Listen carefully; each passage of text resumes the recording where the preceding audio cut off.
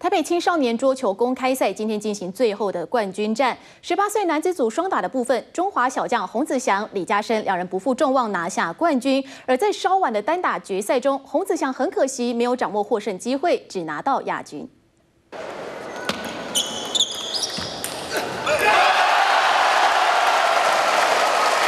得分握拳。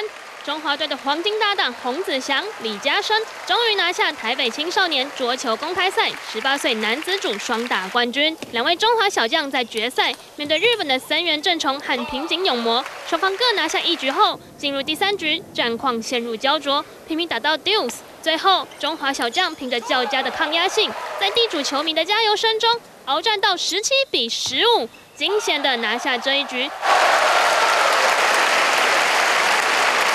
中场中华队就挟着这股气势，以三比一赢球。其实洪子祥十三号在团体赛时就跟日本的森源交手过，当时洪子祥落败，因此这回再度交手。洪子祥特别拟定策略，也收到不错的效果。跟他们打起来回的话比较不好打，他们俩因为他们速度比较快，然后我们就是打一些短的，然后下一板以后下个人就要准备上手这样。晚间的单打冠军赛，洪子祥第三度和森原正崇交手，很可惜最后被逆转，以三比四败北，只拿到亚军。